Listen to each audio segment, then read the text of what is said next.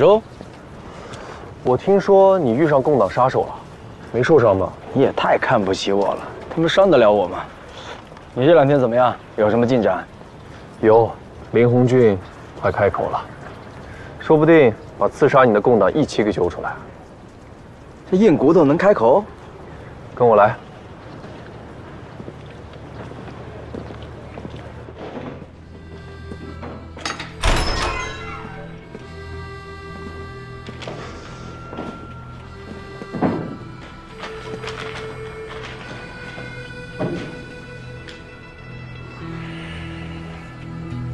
早跟你说了，这种人就得用刑，还不听，现在信了吧？嗯，我还去医务室拿了点药呢，害怕下手太重，把人给弄死了。你别太过分了，要真弄死了，线索不就断了吗？有道理。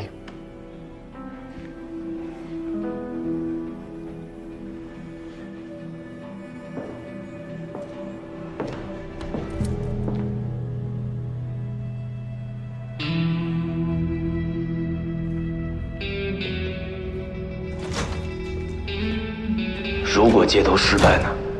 如若失败，则任务终止，重新蛰伏，以你的安全为第一位。那你怎么办？既然走上了这条路，我早就做好了牺牲的准备。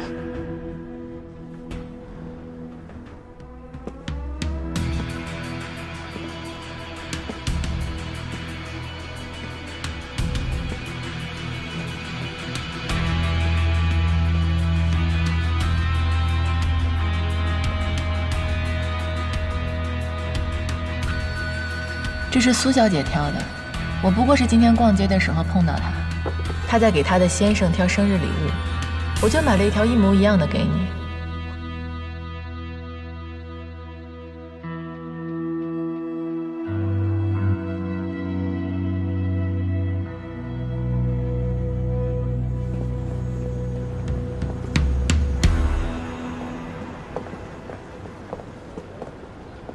苏南，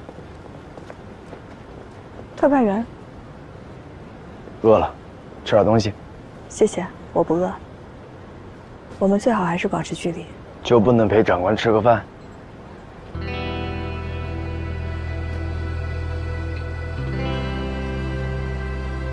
那我们附近找一家餐馆吧，我正好知道。谁说要去外面吃了？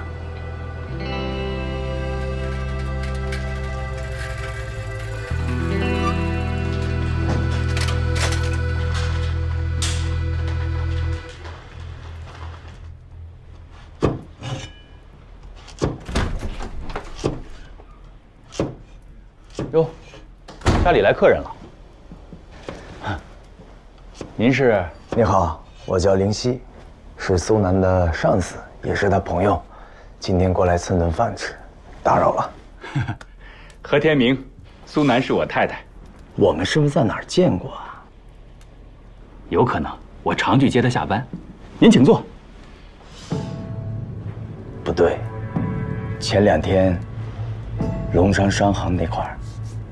哎呦，真不好意思，我没印象了。不过我常去那边进药，我是个医生，也许咱们可能碰上过，也说不定。是吗？天明，回来了。回来了。进来搭把手呗，我一个人忙不过来。走，需要帮忙吗？啊，不用，哪有让客人帮忙的道理啊？走。您快坐，饭马上就好。嗯。哎，做什么好吃的了？胡萝卜，来，正好，你来尝尝。他怎么来了？他非要到家里来吃饭，不知道真正原因是什么。来，你尝尝这个。嗯，好吃吗？好吃，好吃。菜太少了，我再加个菜。我把汤盛出来吧。您先坐啊，饭马上就好。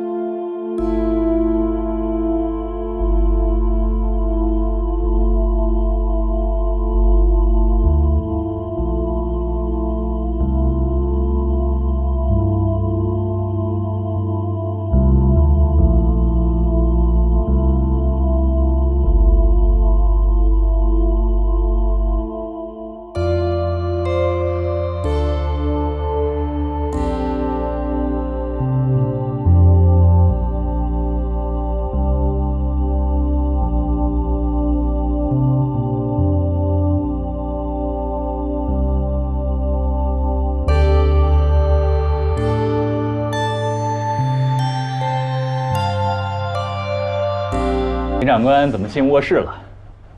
随便看看。啊，饭好了，出来吃饭吧。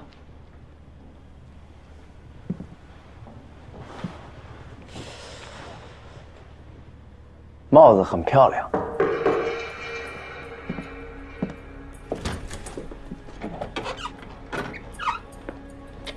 你找谁？我们李汝和处长想找您单独聊聊。等一下。天明，哎，李处长来找我了，我出去跟他聊一会儿。啊，好。走吧。外面坐吧。好嘞。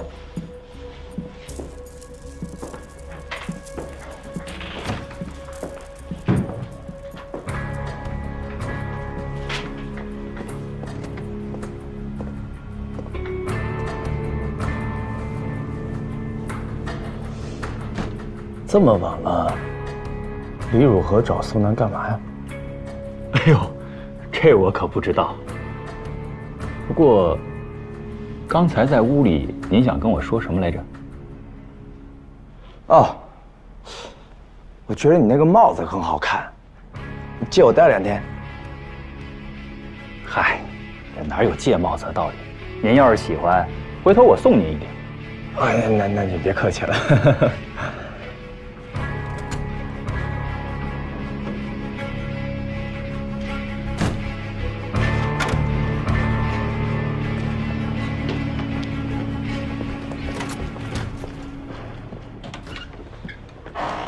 回来了，李处长找我聊点公事。他跟你说什么了？哎呦，这话要问也应该由我来问吧。我是他上级，她是我太太，李处长没说什么。李处长是剿总总务处的，跟你没有什么工作联系吧？特派员，这不关你的事。你要是单纯想吃个饭，我跟天明都欢迎你。你要是想审问我，那就回剿总，我们走流程，我愿意配合。瞧你怎么跟上级说话的！哎，对了，那个突然想起来有个工作要处理，今天就先不打扰了。那您先忙。有时间再来。好嘞，再见。再见。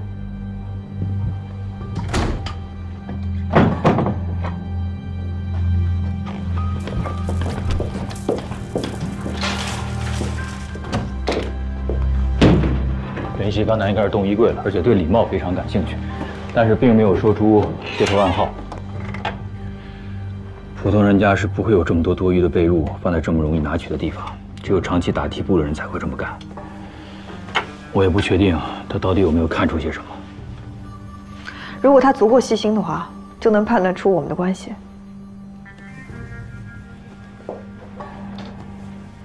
我们可能要藏不住了。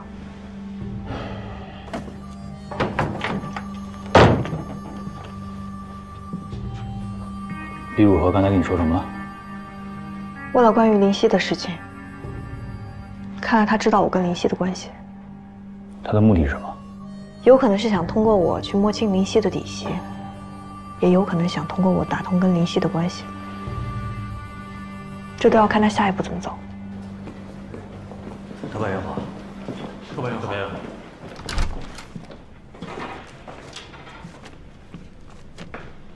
你们李组长到底什么情况？电话不接，人也不来。这个我也不清楚。特派员，有人拜访，我把人带到您的办公室了。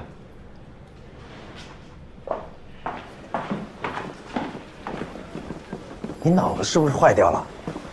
办公室里难免会有重要的档案和文件，要是泄了密，你负得了责吗？是，但记住了，以后不要什么人都往办公室里带。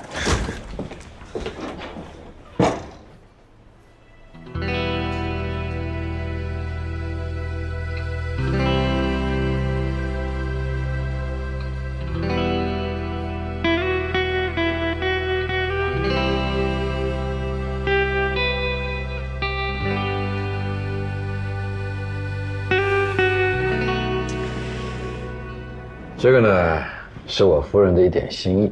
哎呦李太太可太客气了。呀，好料子啊！喜欢吗？帮 我谢谢李太太。好，来喝咖啡。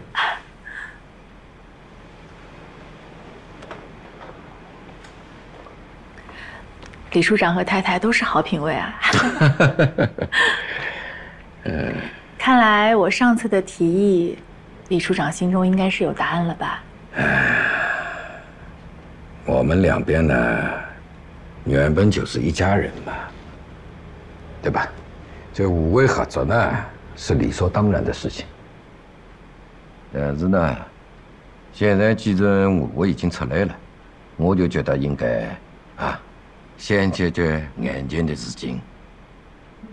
当然了，邢站长的诚意我毫不怀疑，但是特派员毕竟还是林夕，对吧？李处长，你放心，我保证，像上次那样的事情，绝对不会发生第二次了。这个事情恐怕林太太说了不算，所以我今天安排了苏南去见林夕了。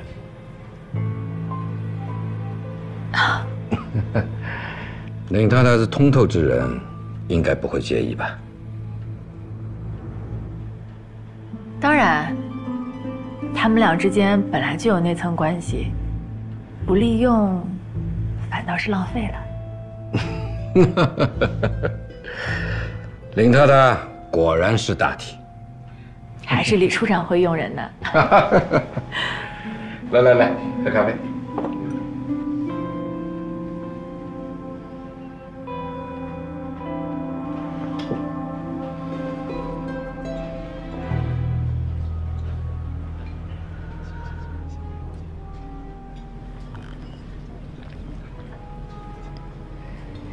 今天约你来见面，是李处长的安排。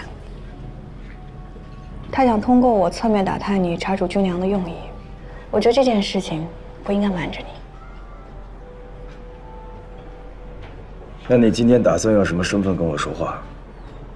是剿总机要室的人，还是李汝和的特使？都是。仅此而已吗？那以前那些身份，现在的我们谈论以前的身份不太适合吧？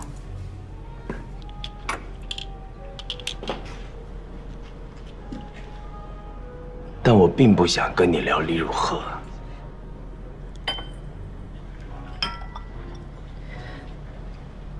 李处长的想法，我想你心里应该很清楚了。我只是一个上班拿工资的，你们高层的事情，我不知道，也不想知道。我今天来是例行公事的。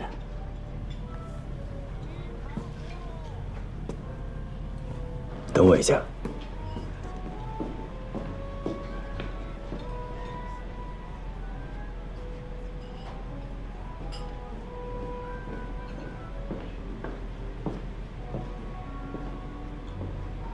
刚刚看到外面有卖冰糖葫芦的，就想起了以前在上海教过我做糖葫芦，尝尝，看看跟小时候的味道一样吗？谢谢。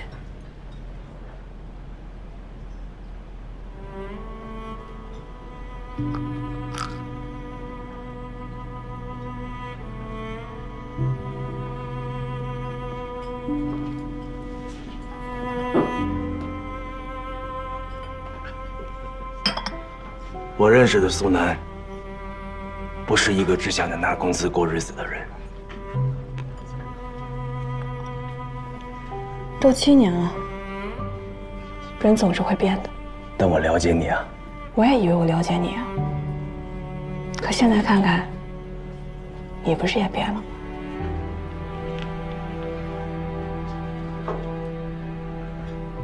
年轻的时候，有仇必报，总觉得自己是江湖上的儿女，恩恩怨怨，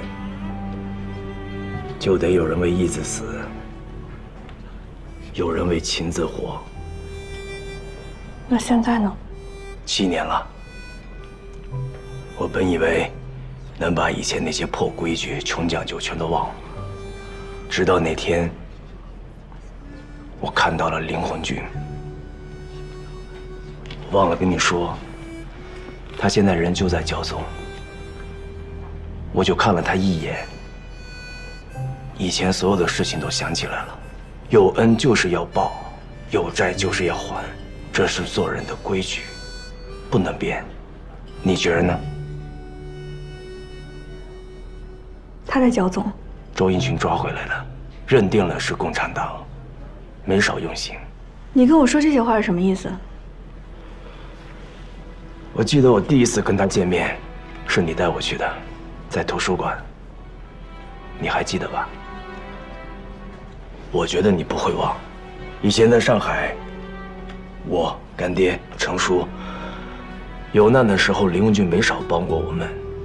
我干爹常教导我，人情不能欠，何况是过命的人情。所以，我要救他。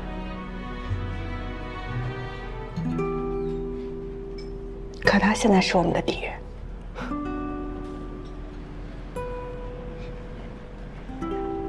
主义上是敌人，情感上是朋友。对于林红俊的遭遇，我很遗憾，但今时不同往日，救他的代价太大了，我承担不起。我早已经不是当年那个天不怕地不怕的女大学生了。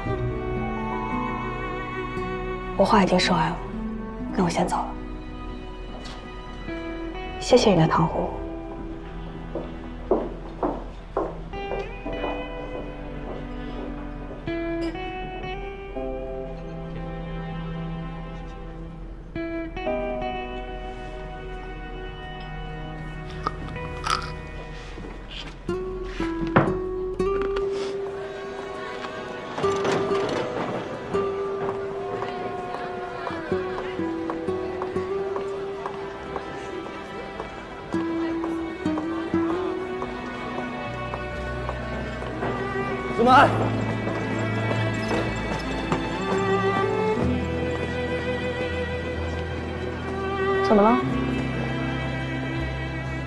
早就想给你了，一直没机会。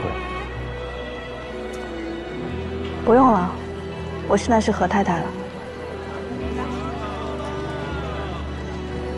这是你的东西，你要不想要，可以扔掉它。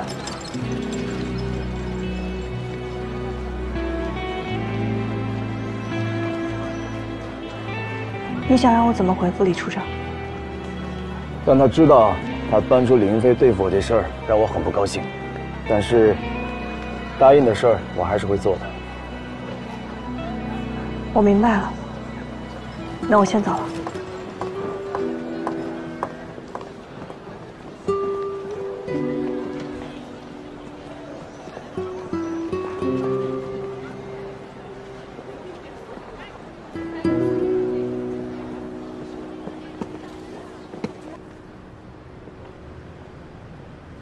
接头任务失败后，锦州形势十分复杂，组织上还未下达明确指示。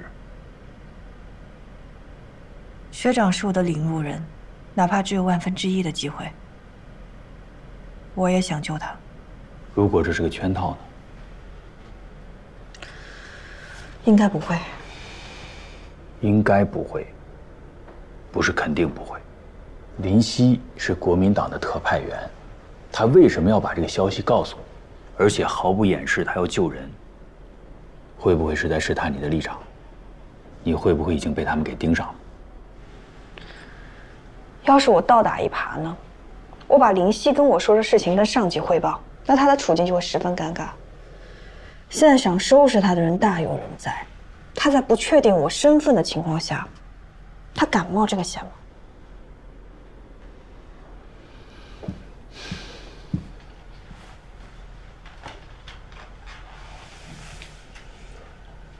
你有没有想过，还有一种可能性？林夕他是我们的人，我们的人？据我了解，抗战结束之后，学长一直在上海活动，三年的时间，他完全可以发展林夕，像当年发展我一样。现在学长被捕了，林夕没了上级，也跟组织断了联系，所以他只能来试探我的立场。可这也只是你的猜测而已，苏南，在这件事情上，你掺杂了太多的个人情感。你想一下，如果这个人不是林夕，换另外一个人，你会做什么样的判断？就因为他是林夕，我才有这样的猜测。我了解他以前是什么样的人。人可是会变的。我建议这件事情向上级汇报：第一，请示是否对林红军同志进行营救；第二，确认林夕的身份。我同意，但是我必须要提醒你，做最坏的打算。在没有得到上级的回音之前，不能做太多的接触。纪律是铁的。不能因为个人的感情用事，犯任何不可挽回的错误。嗯。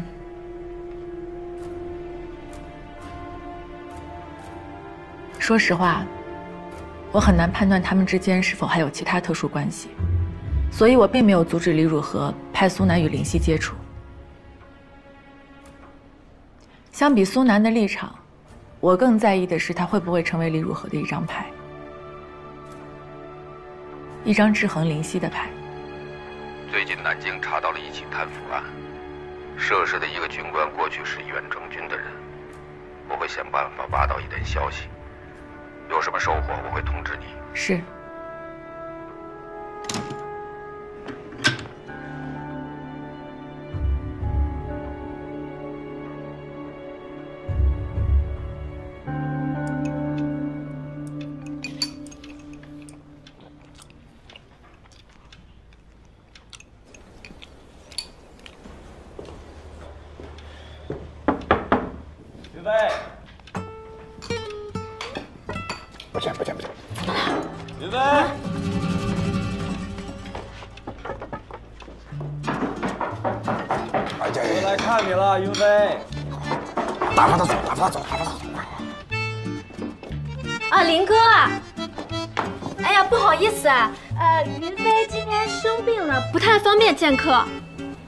我知道他病了，所以我来看看他。哎呀，谢谢你啊，林哥。呃，这样好了，让云飞好点再去找你，好吧？哦，这样啊。哎，但我这有几份文件需要他签字啊。文件？哎，文件，你林哥，你从门缝里面塞进来，我转给他。哎呦，这这文件太厚了，我塞不进去啊。这样，你把门打开，我把文件给你，我就我就走。哎，好，林哥，你稍等啊。云飞啊，云飞。哎哎，不是林哥，哎林哥，哎云飞就病了，那个改天让他好点去找你。对，做饭了。啊？红烧肉。不。哎，还真是，还挺香的。云飞呢？哎，云飞，他。这样，林哥，让他改天再去找你，好吧？我看看，我去看看他。云飞，云飞，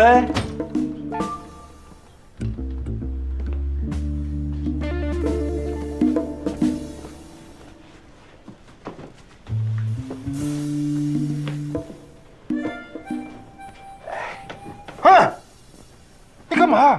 你干嘛？哥想你了。哎呀，你松开！哎，你床上给哥，床上给我你就好了。呀，你是不是有病啊？啊！哎哎，松开我！啊！呀！心死我了！你我真服你了，林夕，你脸皮怎么比床板都厚啊？啊！是，你现在是高兴了，你满意了，你捅了一个漂亮的篓子。兄弟我呢？夹在中间，上上不去，下下不来。李汝和，李汝和，我得罪不起。你林大特派员，我更得罪不起。行，我躲在自己家里也不行啊。你说说你，呃，哎呀呀呀，这红烧肉没少吃啊。少来，死皮赖脸的，烦死了。你不搭理我，李汝和也没给我好脸色，活该。他请我吃饭，筷子都不给我一根，饿不死你。回来路上差点挨一枪子儿。挨，李汝和也不是个东西。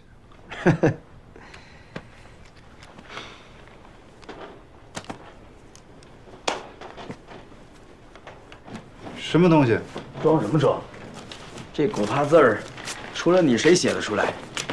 知道是我写的，你还非拿过来，被人发现不得弄死我？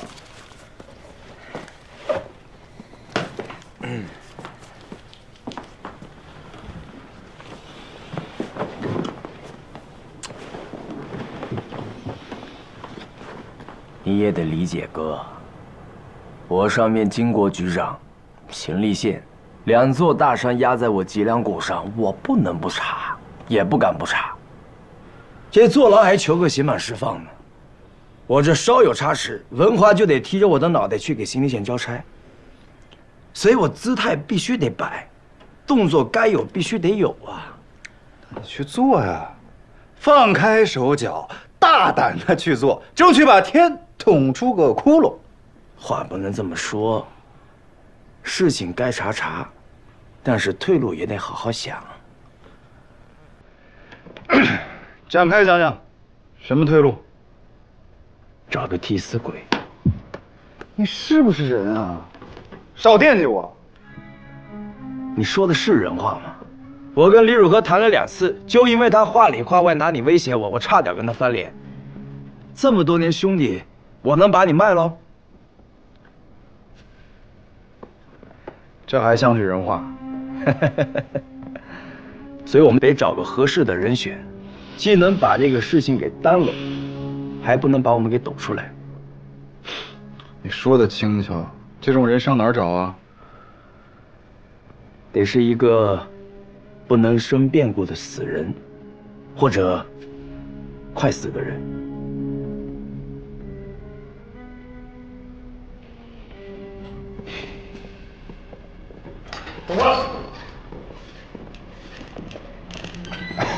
老周，哟，李组长也在呢，有事儿？没什么事儿，就过来转转。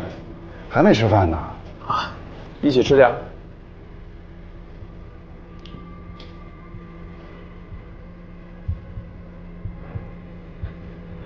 当心点，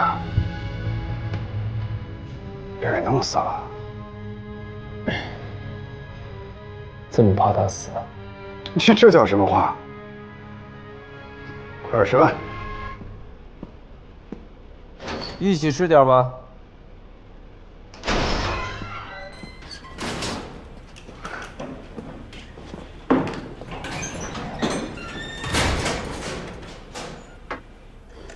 今天吃点好的，聊点轻松的。来，我记得民国三十年的时候，你们共产党有个代号叫青鱼的，就是在街边摆摊卖馄饨。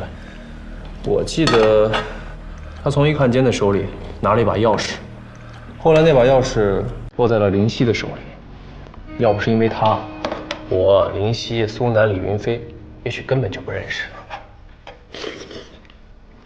那时候你就是共产党了吧？苏南那时候入党了吗？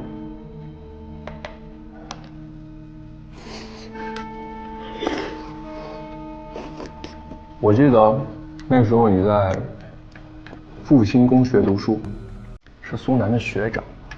这么说，你应该是他的怎么说来着？介绍人。对，需要介绍人才能入党。我记得那时候苏南和林夕整天腻在一起。我第一次见苏南的时候，就是在林夕家。一晃，这么多年过去了。昨天苏南还来找林夕了，他们两个一点都没变。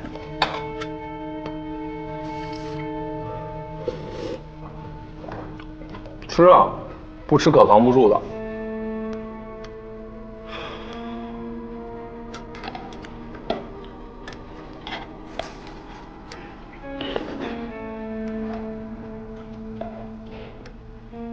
租界沦陷的时候，我们都以为苏南死了。谁会想到，经历了那样的爆炸之后，他居然还能活下来？我查过他的档案，上面写着死里逃生之后，退出了共产党。可是档案里面写的都是漂亮话，是真是假，谁知道呢？说实话，我挺佩服她的。一个女孩，随部队远征缅甸两次了，不容易啊！穿越了大半个中国之后，一个月前，他来到了锦州，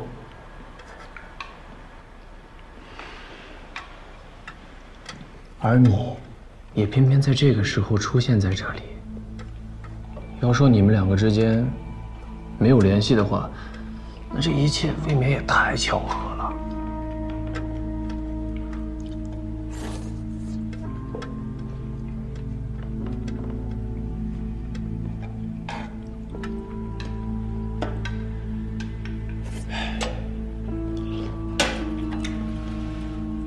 不管是你，还是苏南，空闲的时候想想青鱼，他是为了抗日而死的，死的壮烈，死的有价值。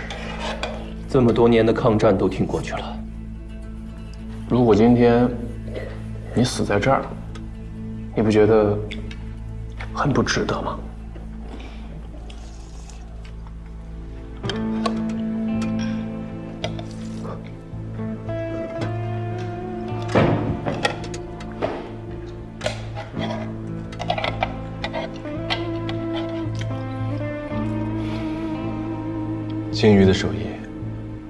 比这强多了。你没吃过好的，更没见过好的。我犯不上跟你谈值得不值得。没关系，只要你还在这儿，自然会有人来跟我谈值得还是不值得。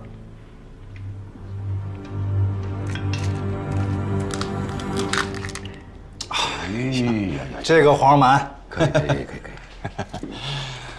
哎呀，盘锦的蟹现在正是时候啊！我特意找人看着的，三十个里面挑一只大母蟹，可以吧？可以可以，肥的不得了。哎，你看看。云飞啊，嗯，你光复之后第一批来的锦州吧？对啊，三年了。我就说嘛，这锦州的水土养人，对吧？我就是觉得要比上海滩的水土养的像样子，对吧？李处长，这是哪里话？锦州的河，上海的江，嗯，哪儿的水蒸着巴掌大的螃蟹，蒸出来也就一两肉。李处长，您是看得清楚，也能吃得明白。啊，来，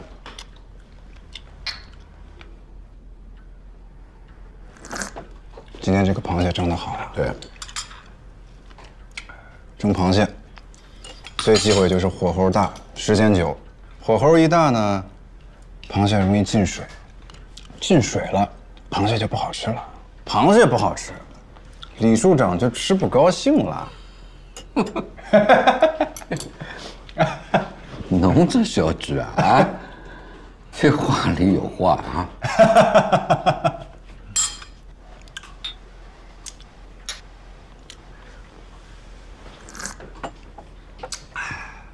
说吧，什么事？我这儿确实有一个降火的法子，您帮我判断判断。说说看。这个法子能让林夕胜有对策，让我们可以全身而退，哎，一点泥点子都沾不到身上。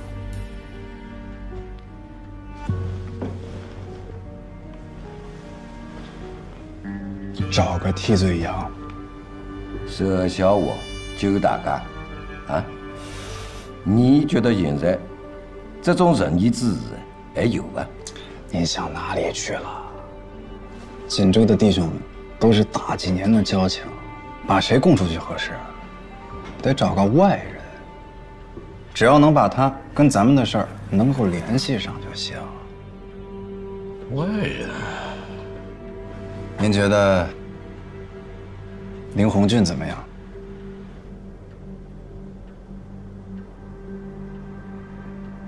有点意思。接着讲。试想一下，林夕在锦州没有找到任何贪腐的证据，但林红俊则签字画押，承认了揭露锦州贪腐的那个新闻是他一手炮制的假消息。这么一来，不仅全了上峰的脸面，还多了一条可以诘问共党的理由。这不是变祸为公，皆大欢喜吗？